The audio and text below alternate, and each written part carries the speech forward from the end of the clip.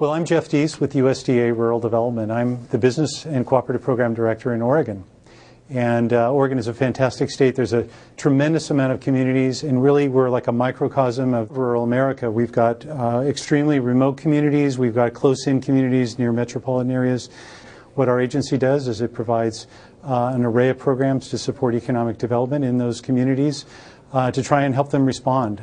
One of the things that we've seen that is really kind of a, a very interesting uh, common denominator in a lot of Oregon communities is uh, a real interest in the Sirolli uh, enterprise facilitation model of uh, building businesses from the ground up, micro enterprises, and helping existing businesses be successful. Uh, so I'm always interested in what's successful and what do people like we have actually had five different communities all across the state come to us and ask for assistance uh, in us. A number of years back, maybe five or six years ago, two areas in eastern Oregon, Baker and Wallowa County asked for our assistance through this enterprise facilitation program. I know that the model of the Sirolli system uh, approaches things a little bit differently than the traditional way. There's a little more uh, mentoring that goes along with it and helping reach uh, several different aspects of what's needed for business success and they absolutely loved it. They were very excited about what they were seeing, and uh, they just couldn't get enough about the number of businesses they were able to assist through the program. And then, uh, lo and behold, more and more communities came to us and said, we want enterprise facilitation as well.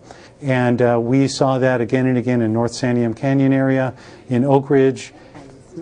Oh, oh Wy'east, you're standing right here beside me.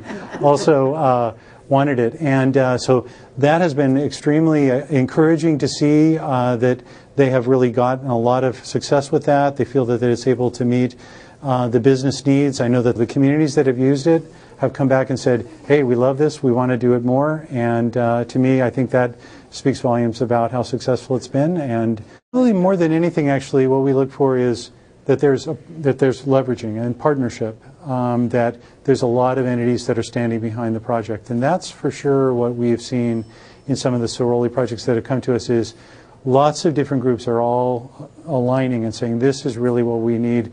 It's largely about sustainability is what we look for. And so um, the more we can see that there are different community groups that are saying we're going to stand behind this, we're going to support this, really has to be a local decision uh, in order for it to be for it to be real and sustainable, really. And when they can come in and say, we've got the support of all these different groups and we all want to do this, that gets my attention. We're, we love it when we can, you know, put some seed capital in, get something up and running, and then it's going to be sustainable, be able to stand on its own feet.